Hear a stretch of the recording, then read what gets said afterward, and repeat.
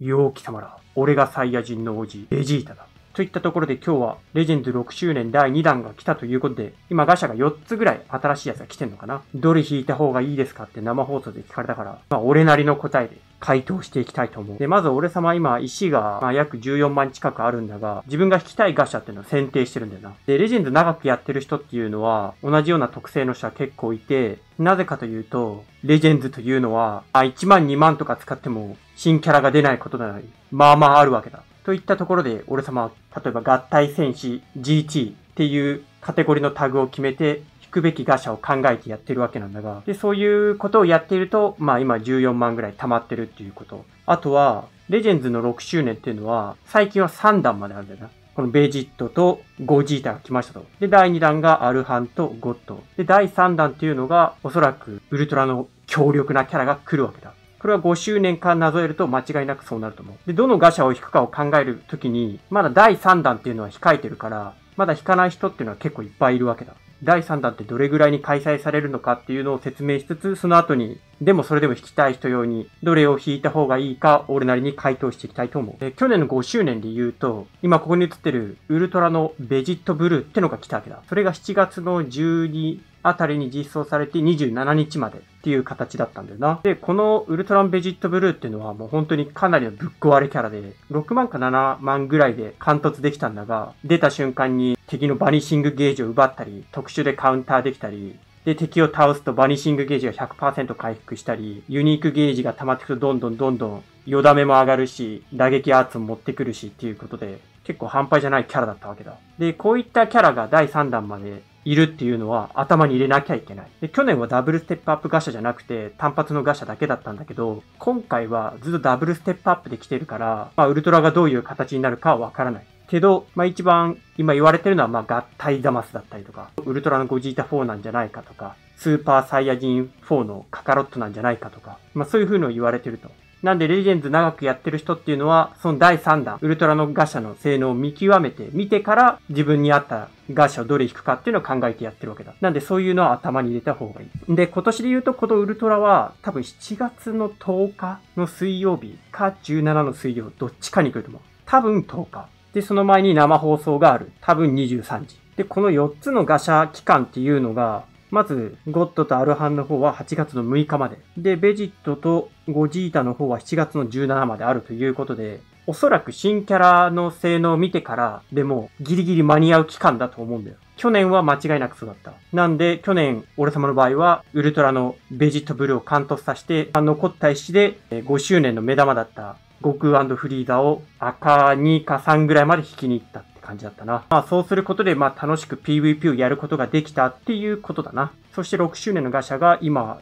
4つ来ている中で、どれ引いた方がいいかっていうと、結論、この目玉のキャラ、ゴッド、アルハン、ゴジータ、ベジット、好きなやつ引いて問題ない。もうほんと僅差だと俺は思ってる。っていうの色相性的に見ても、今のところ全然ダダ被ってるわけでもないし、強いて言えばアルハンがゴッドに対して紫属性でちょっと得意属性でちょっときついかなっていうぐらいかな。で、それぞれ特性も十分あって、本当に強いんだ。で、この合体ベジットもゴジータもそうなんだが、まあ、合体するまでに結構大変かっていうと、結構簡単にコンボも繋がってくるし、で、すぐ合体まで持ってくるし、で、合体して、このベジットで言えば、合体した後に高火力で敵を攻撃することもできるし、まあ、ライジングは確定で通るといった強みも持ってると。まあ、あとはこう、玉吐き無効っていうのは結構強い。で、このゴジータで言えば合体したとアサルトチェーンという高火力をぶちかますことができると。なんでそう考えるとこのアルハイに対しても強く出れるといったとこだな。まあ得意属性だからな。で、あとは今猛威を振るっているこのウルトラご飯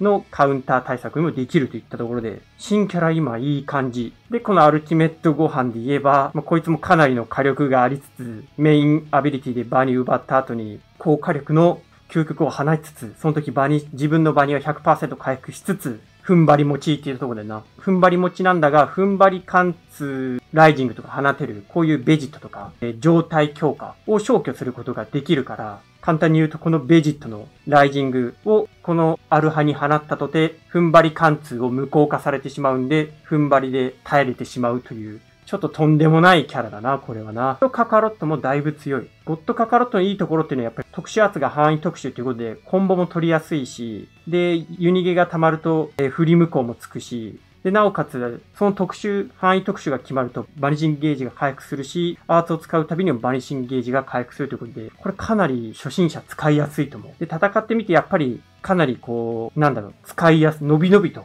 戦っているような感じだったな。なんで、どれ引いても本当にいいと思う。あと、引くべき時に大切になってくるのが、自分はどういうキャラで組んでいきたいかっていうところ。このキャラの性能を見るときに、こう、サイヤ人、孫一族、神の木とか、まあ、スーパーサイにゴッドってあるんだが、ここで見なきゃいけないのはこのキャラクタータグを絞ってガチャを引いていくってことが大切かな。なんでカカロット組むんであれば、このゲームにおいて強い孫一族パーティーで組むなり。で、最近半壊ザマスとか、6周年の 5G タブルーとかが持ってるこう神の木で組むとか。まあそういう風にも使えるいいキャラということで、自分が組みたいパーティーのキャラを引くっていうのが大切。で、このアルティメット孫悟飯で言えば、まあ孫一族、まああとは根血サイヤ人っていったとこだな。最近は根血サイヤ人めちゃくちゃ強いから、根血サイヤ人で行きますっていう風にやっていくのもありかなと思う。このご飯もそうだし、このウルトラご飯でも組めるし、このガチャ引くと、このピックアップに入っている、えー、このビーストも使え、このアルファも使えるから、まあいいと思う。てか強すぎるよな。なんでベジとはサイヤ人、ベジータイ族、あの世の戦士、孫一族、スーパーサイジン、合体戦士。といった形だな。なんで、孫一族で組ませるっていうのは、今来てるパーティーで言うとかなりいいところだし、あとは、えー、このゴジータで言うと、えー、まず劇場版編っていうのも強いんだよ。劇場版編でも組める。プラス神の木合体戦士。なんでタグを意識していくことが大切になってくる。あまずこのベジットを持っているんであれば、まあ孫一族で組むんであれば、まあどっちでもいけるといった感じなんだが、まあとりわけ、まあ引くならこっちの方が良さそうな感じはするな。スパーキングの魔人ブーとかも、魔人ブー編縛りとかあったからな。このゴジータを持っているんであれば、引くんであればゴッドかな。ちょっとこっちではないかな。まあ、ビーストとかが、劇場版編のビーストとかいるんだが、ちょっと狙って引くのはちょっと大変だし、まあリーダー枠に入れたやつは他のパーティーのアビリティが乗るといった形なんだが、まあそういった形でアルファンを使っていくのはもちろんありなんだが、こっちのカカラットの方のパーティーが結構神の木だったり劇場版が多いから、このゴッドの方を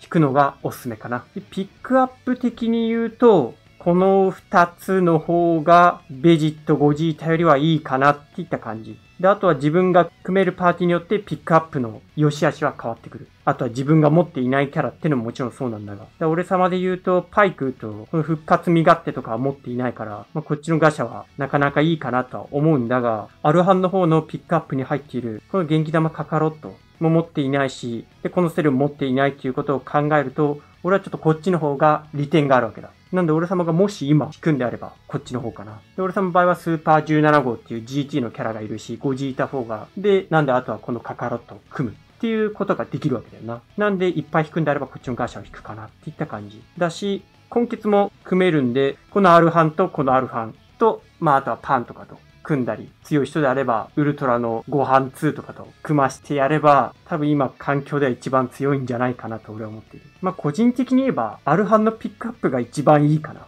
まさかこの2体が入ってると思わなかったな。このカカロットで言えば、メインアビリティで敵の生存メンバーの数によって交代禁止9曲だったり、バニューバイ9曲ぶちかわすこととかできたり、で、あとは結構フラ、特殊でフラッシュ、太陽剣があるんだが、これほとんどのキャラ結構通じるから結構おすすめ。で、あとはビースト。個人的にはビーストはまあ全然参る。全然強い。やっぱりユニークゲージが溜まった後にメインアビリティを切ってしまえば相手のバニを奪ってバニ回復ができる高火力の必殺も放つことができるというわけで、この二人でアルファンはこうバニを奪うっていうイメージがここで完全についたな。と、まあ、そんな感じで、え、自分が弾きたいガシャを引いてほしいなと思う。まあ、大体そんな感じなんだが、もちろん最初の方に伝えた通り、まあ、まだ期間があるから、悩むんだったら悩む。え、第3弾のウルトラを見てから引いていくっていうこともできるよっていったところは知っといてほしかった。なところかな。結構生放送で結構知りたいって言われたこと結構多かったから、